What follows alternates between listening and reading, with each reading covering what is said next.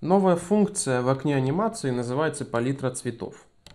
Если кто-то из вас работает в дизайне или в графике, то, вероятно, вы знакомы с созданием таких пятицветных узоров, похожих на цветовую схему. В кинематографе мы теперь тоже часто используем цветовые схемы и подумали, что будет интересно создать место, где можно делать палитры и иметь инструмент, чтобы сравнивать их со снимками, а также создавать э, цветные палитры и цветовые схемы со снимков. В окне анимации э, вот инструмент палитры. Его можно включать, выключать вот этой кнопкой. Здесь открывается инструмент и мы видим сразу такой серый образец. Это потому что мы не создали еще пока никакую палитру. Первое, что я сделаю, это создам цветовую палитру с тестового кадра. Вот этот с кубиками. Кликаю сюда. И появился такой инструмент. Видите, такой кружочек с крестиком в центре. Теперь можно передвигать эти маленькие кружочки. Они выбирают цвет. Вот, можно их двигать и выбирать цвет, который соответствует сцене. И собственно, теперь можно сохранить ее как цветовую палитру. Идем сюда и кликаем на образец, и я назову его желтый, например, и сохраню. Теперь, если мне понадобится этот образец, он всегда сохранен, и также его можно экспортировать и переименовать.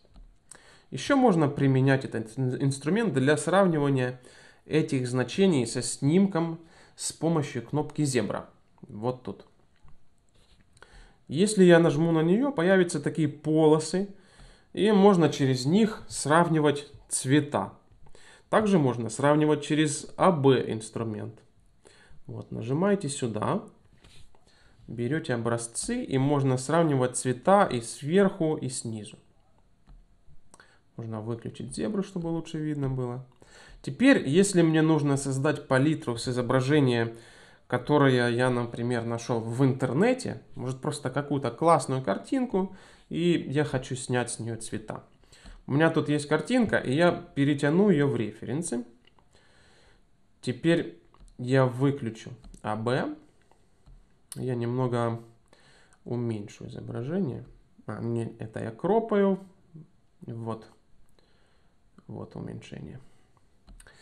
Здесь очень интересные цвета на картинке. Я включу захват образцов и буду двигать. Вот посмотрим, какой. Так, здесь розовый. Здесь желтый. Вот такой оттенок. Этот, наверное, давайте возьмем оранжевый тоже. Теперь сохранить. Я нажму его, назову Аляска. О, готово. Те из вас, кто уже знаком с образцами цветовой палитры или с генераторами цветовых схем, знают, что вы можете создавать цветовые схемы онлайн. Есть несколько отличных веб-сайтов, на которых есть классные приложения, которые помогут вам создать цветовые схемы. Я покажу вам один, называется Coolers. Мы заходим в «Создать». И здесь есть все инструменты для настройки и создания цветовых схем. Но можно посмотреть уже готовые схемы. Здесь. Или, например, у вас уже есть готовая схема, или кто-то сделал схему, и вы хотите ее перенести в Dragonframe, вы можете навести курсор на одну из этих схем. Возьмем вот эту, вот эту, Floresta. Экспортировать. Можно в PNG или в SCSS файле. Нажимаем сюда, оно сохраняет. Единственное неудобство этого сайта в том, что при сохранении оно автоматически присваивает файлу имя палитра. Так что придется переименовывать файл, если импортировать Dragon.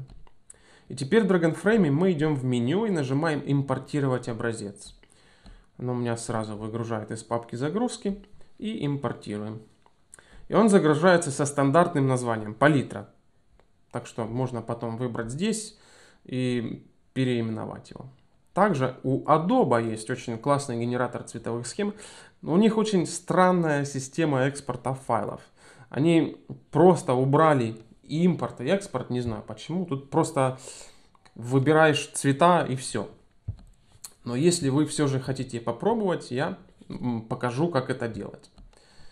Если вы создали схему и сохранили в схемах, или можете выбрать или уже из готовых схем, вы можете зайти сюда и просто сделать скриншот экрана. Так что я выберу область, сделаю скрин, я сохранил его на рабочий стол, но прежде чем импортировать скриншот, я его переименую.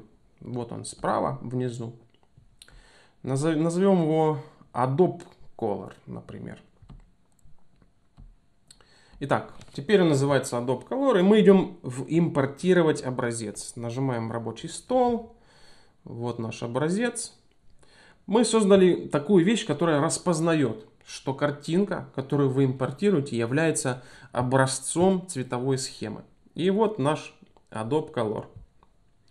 Еще одна удобная штука. Можно менять размер вот этой панельки. Если вам нужно увеличить или растянуть цвета поперек большой картинки на весь экран, например, то можно сделать это тоже вот таким образом.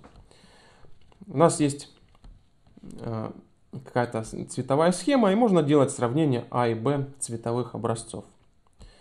Можно также настроить А, Б и на Live View. Когда вы закончили работать с инструментом и хотите закрыть его, нажмите на эту главную иконку вверху, и оно выключится. Ну и, конечно, можно закрыть его здесь. Вот, собственно, был разбор палитры цветов. Нам очень интересно увидеть, как вы будете использовать этот инструмент и получить от вас фидбэк. Пока!